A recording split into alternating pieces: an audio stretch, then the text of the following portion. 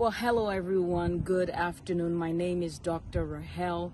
I'm here with Dr. Gordon. God bless you. We just came from the CFAN impartation breakfast. It was an amazing time. Amen. It was an amazing time. Listen, I was so blessed by the ministry of the Holy Spirit.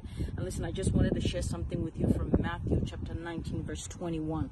Right? The Lord says that uh, any of us that have left uh, uh, uh, families, right? Houses. Who doesn't love this home, right? Houses, lands, right? Left all these just for the sake of the gospel. The Lord assures us that there is a blessing for us even while we're on here on earth because it's the Lord's desire that you prosper, that your soul prospers, that I prosper, that my soul prospers, even as our health also prospers.